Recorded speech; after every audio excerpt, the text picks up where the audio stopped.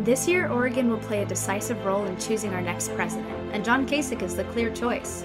Ted Cruz pulled out of Oregon, and John Kasich is the only one that can stop Trump and defeat Hillary Clinton in the fall. Vote John Kasich for president.